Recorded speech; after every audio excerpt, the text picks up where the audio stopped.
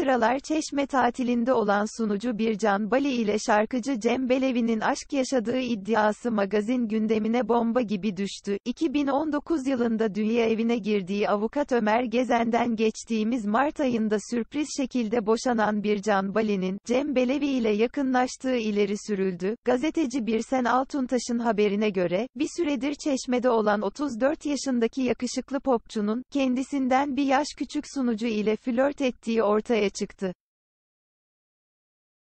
Bircan Bali'yi ekrandan takip eden ve beğendiğini dile getiren Cem Belevi'nin, tatilde ünlü sunucuyla karşılaşınca samimiyeti ilerlettiği iddia edildi. Cem Belevi'nin, yaklaşık 3 yıl birlikte olduğu ve evlilik hazırlığı yaptığı oyuncu Zehra Yılmaz'la ilişkisi geçtiğimiz yıl sona ermişti. Sunucu Bircan Bali ise 2019 yılında dünya evine girdiği avukat Ömer Gezen'den geçtiğimiz Mart ayında boşandığını boşandığını canlı yayında açıklamıştı. Evli gittim, bekar geldim.